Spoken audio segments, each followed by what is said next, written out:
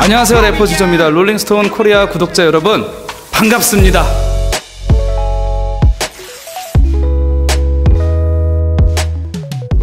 원래 그 예정되어 있던 게 너무 오래돼서 설렘도 이제 없어졌고 원래 내야 됐던 시기가 이미 지났습니다.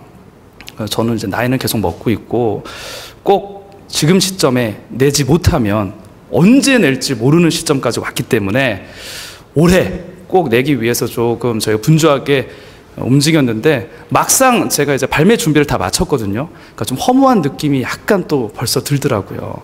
그걸 치유해주기 위해서는 우리 또 들어주시는 청취자 여러분, 또 리스너 여러분들께서 예, 뭐 피드백이라든지 응원, 격려 해 주시면 저에겐 자양분이 되는 겁니다.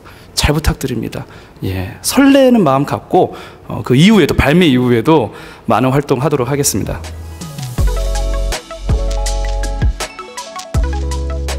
한 곡은 그 피처링이 그 양동근 씨기 때문에 아무래도 인지도 면에서도 예, 많은 분들이 또 알고 계시는 래퍼고 또 한 분은 언오피셜보이라고 25살 아주 그 파릇파릇한 친구와 또 저와의 collaboration이 있기 때문에 어, 그두 곡을 공개를 했을 때 뭔가 좀 차이점도 있고 여러 가지 좀 변화도 좀 예, 보여줄 수 있기 때문에 한 곡으로는 아쉽다. 14곡인데 한 곡만 하기에는 어, 뭔가 좀 아쉬워서 좀 다른 느낌의 두 곡을 또 다른 피처링진과 함께 좀 여러 가지 좀 변화하는 모습 좀 보여주고 싶었고 원래 한 곡을 하려고 했는데 또 동근 형이 너무 좋아해 주셔서 또 활동하는 것에 대해서 굉장히 좀 열의 있게 예, 다가와 주셨기 때문에 저도 감사하게 아 이 곡 좀 홍보 좀 해야겠다 해서 예, 두 곡을 좀 하게 됐습니다. 예.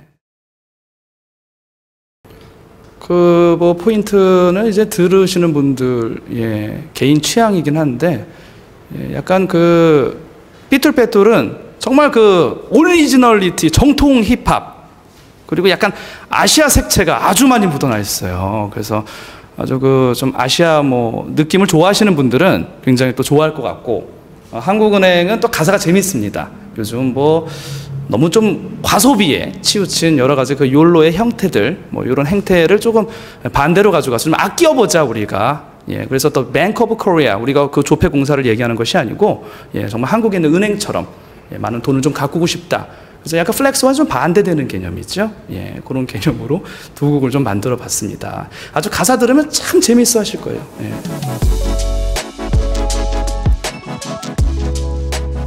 제가 국방 FM 하고 있는 거를 많이들 모르세요. 그래서 좀 편안하게 진행하고 있는데 그래서 뭐 더욱 알려지는 거를 제가 꺼려하긴 합니다.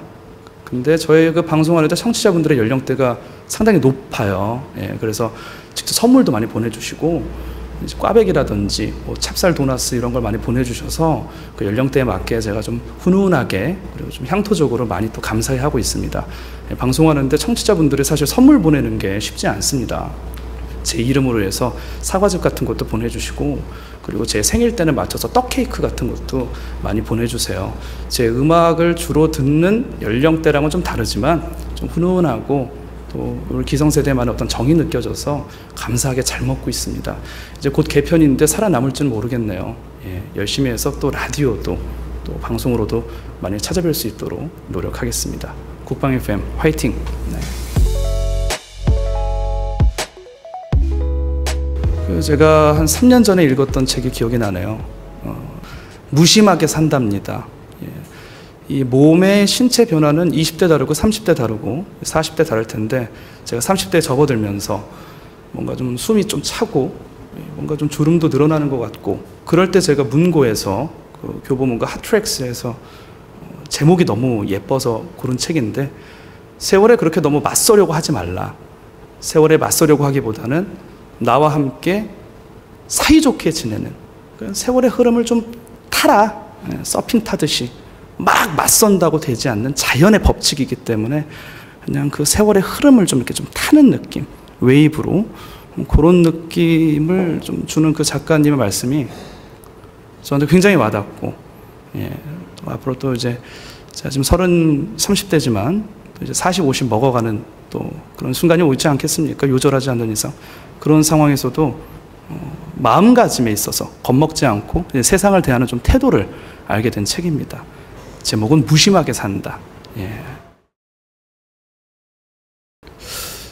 그런 원동력은 아무래도 잔고 같은 걸 볼 때 좀 늘어나 있을 때 가장 큰 힘이 되는 것 같습니다.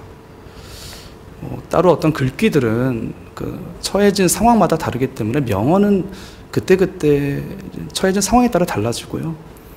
이제 통장이나 이런 은행 어플리케이션에서 보여지는 그 공의 숫자라든지 섭외 올 때 그 액수 단위라든지 그럴 때 더 열심히 해야 되겠다 뭐 이런 생각을 해요. 예, 사실 뭐 제가 뭐 어, 와이프가 있거나 아이가 있으면 어, 그들의 미소를 볼 때 이렇게 얘기하고 싶긴 하지만 그렇지는 않고요 지금 예, 그런 것들이 아닐까 이 자본주의 사회에서 그런 액수라든지 무시 못한다 이런 생각을 하게 됩니다. 예. 저는 그 예전에 Together Brothers 앨범 낼 때 가사에 그런 게 있었어요. 롤링스톤지 커버는 내 차지 뭐 이런 게 있었어요. 롤링스톤에 예전에 아는 또 형님이 또 근무하신 적도, 적도 있었고 어, 정말 그 굴지의 세계적인 매거진 아니겠습니까? 물론 굉장히 어려운 일이라서 그런 것도 이제 장기적인 목표로 삼고 무엇보다 좀 공연을 많이 하고 싶어요. 아주 좀 갈증이 나 있습니다. 예, 많이 못해서 그나마 좀 하는 편이지만 예전에 비해서 많이 없어졌기 때문에 예, 여지가 되면 정규 앨범 내고 나서 단독 콘서트도 할 수 있었으면 좋겠고 예, 또그 외에 많은 예, 공연들 하면서 무대에서 좀 소통을 하고 싶습니다. 지금 가사를 막 열심히 제가 외우고 있기 때문에 예, 언젠가 무대에서 더 소통하고 혹시나 찾아주시는 컨텐츠가 있으면 또 미디어를 통해서도 예, 많이 좀 찾아뵙고 싶습니다. 이왕 냈으니까 집에 있으면 안 되죠. 나와서 홍보도 좀 하고 그래야 우리 또 회사에서 열심히 일하시는 분들도 보람이 있을 거 아닙니까? 내는 건 의미가 없어요. 낸 후에 어떠한 어, 아웃풋이 있느냐가 중요하니까 활동 잘하는 것만큼 뭐 더 중요한 거 있을까요? 활동 많이 하겠습니다. 아, 롤링스톤 제가 이거 인터뷰나 이런 촬영을 제가 처음 해봤는데 아주 compact하고 늘어지지 않게 정말 그 요약만 해서 summary 해서 찍어주시는 게 정말 이 롤링스톤 뭐 잡지의 그 구성도 그렇지만 정말 프로 중에 프로다 예, 그런 생각을 해봅니다. 저 지조도 롤링스톤과 함께한 이 순간 절대 잊어버리지 않게 영원히 기억하면서 롤링스톤이 매거진에게 정말 왕언니 같은 칭호를 받는 것처럼 저도 래퍼계 정말 맏형 정말 아, 레전드다 이런 칭호에 어울리게 열심히 활동해서 또 음악적으로도 못 들어보시는 분들이 있으면 빨리 지조를 각종 음원 사이트에서 검색하셔서 청취 필수입니다 여러분. 검색하셔서 많이 들어주시면 좋겠습니다. 사진 잘 찍어주셔서 고맙습니다